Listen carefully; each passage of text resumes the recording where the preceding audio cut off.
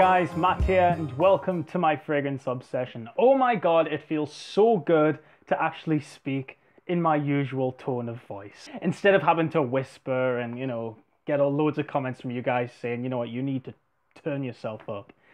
Well, we don't have that problem anymore because I'm doing this a little bit earlier, so yes. Now, as you guys can see by the name of this video, I am going to be talking about my second fragrance from the company of Montblanc.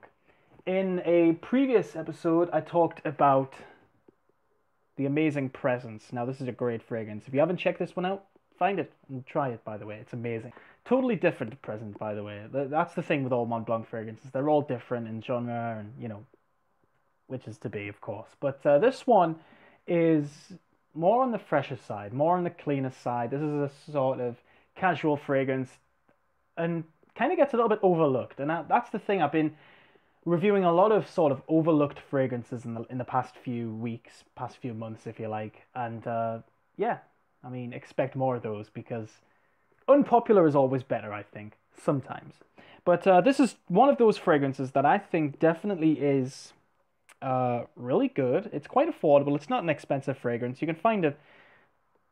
Uh, well, this bottle is a 50 mil and you can get 50 ml and 75 ml. I don't know why. It's Montblanc's bottle sizes are a little bit strange, but uh, yes, this size is 50 ml, so you can probably find this for about 20 pounds in the UK. And that's how much I got it from. I think I paid 19.99 from the perfume shop for this.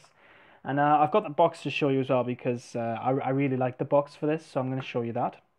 As well as the bottle and the smell, of course. But uh, this is what the bottle looks like. And this is for a fragrance called Starwalker. Oh, look, you can see me. A Starwalker by Montblanc. This scent came out in 2005. And uh, this one has a, it's the name of it sort of going back to the history of the company. Now, the history of Montblanc actually started um, very, very long time ago. They actually started out making uh, wallets and uh, things like watches, but they're most famous for pens. And uh, their first pen that they ever created was the very famous Starwalker pen. And that's what this fragrance is inspired from. And this is the bottle design. It's just absolutely beautiful. Absolutely love this bottle design. I mean, this is a 50 ml. I mean, you can get the 75 ml as well, but I think that this bottle size is perfect. And this is something that uh, I need to actually tell you guys about something. And I, I think this is something that a few other reviewers who have reviewed this fragrance don't dwell into enough about. I've only seen one reviewer talk about this. And the, the cap for this fragrance is actually quite sharp. So be very careful when you're using it. It is actually really sharp. Um, I don't think it's sharp to the point where it is gonna cut your skin, but it will, you know, leave you ah, you know, that sort of thing. So just be a little bit careful. So this is what your bowl design looks like. We get Montblanc there on the bottom. We get Starwalker there in sort of like a really cool sort of font.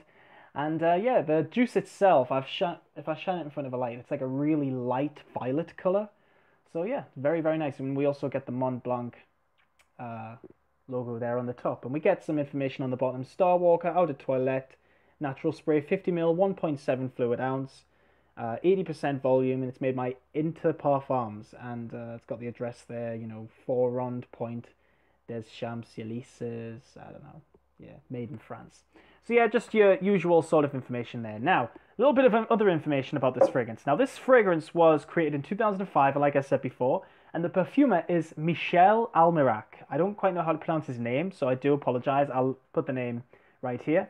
Um, he's created so many fragrances, and um, I've only actually got one fragrance that he's created, which is Yop Hom or Joop Homme by Joop, which uh, it's on the top shelf. I was going to get it, but you guys know that. The, the famous pink fragrance from Joop, he's created that. He's also created fragrances like Magnetism for Men by Escada, which unfortunately is a discontinued fragrance. Sorry, I had to swallow there.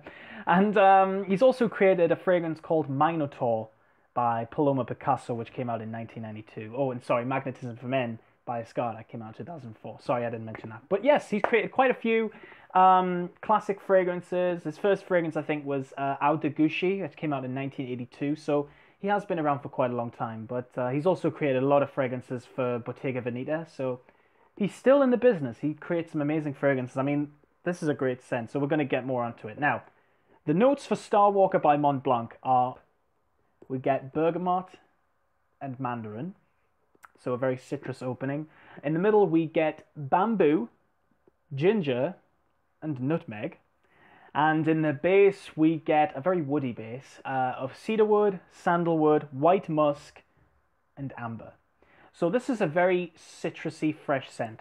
I have already sprayed it, but I'm going to spray some more on here. Let me show you guys what the spray looks like. It's pretty decent.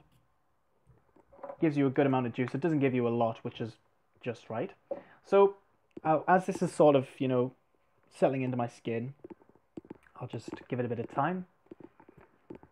Okay, here we go. So what do I think of Starwalker by Montblanc? Well, this fragrance opens up very crisp and it's very clean. And it has a kind of very strange metallic feel to it. And I don't quite know where that comes from. I guess maybe the bergamot and mandarin as a citrus accord creates this sort of strange metallic feel. I don't know. It might just be me, but that's what I get. It's sort of like a metallic citrusy opening.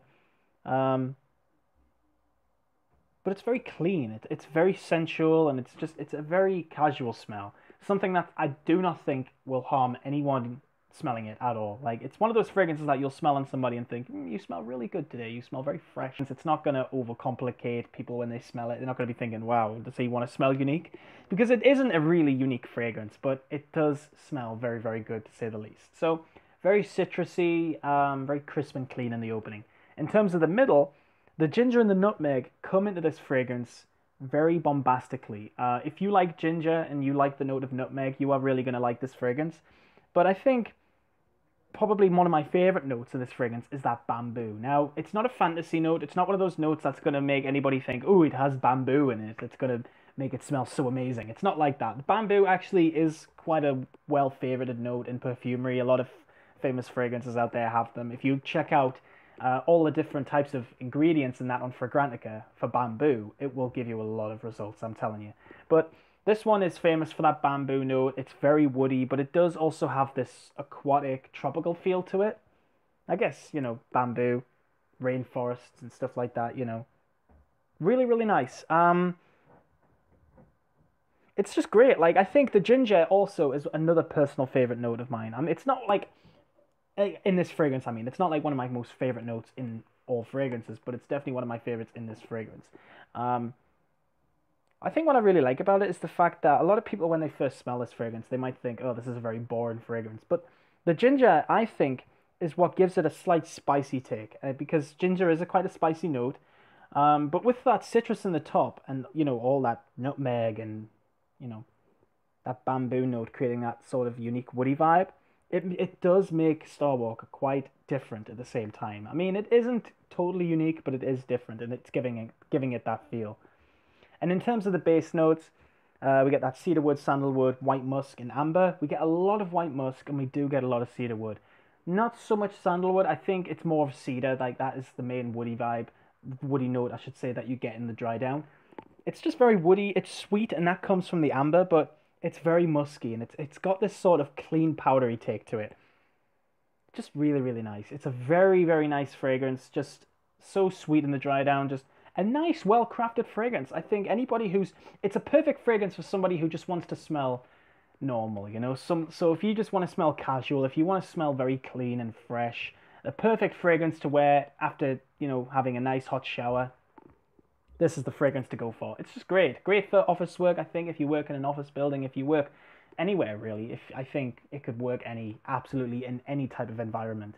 Um, what's funny is I think like I think this is more well suited for sort of summer and springtime. However, now that we're in autumn, it's actually starting to get really cool outside now. I wore this tonight, um, uh, not long ago. I'm actually wearing it at the moment, but it's starting to fade away now. It's, it only lasts about five to six hours, by the way, but you will enjoy those five to six hours of it being on your skin, I will guarantee you. But what's really good is when I first applied this and I went outside into the cool air, the fragrance really started to smell good. And I remember going outside, and the first thing I said to my parents was, what's that smell? It smells really good out here. And I was like, oh, it's me. and I'm just going to say thank you so much for watching my review on Montblanc Starwalker. I keep this fragrance in its box because I really do like the box design. I don't do it with all of my fragrances.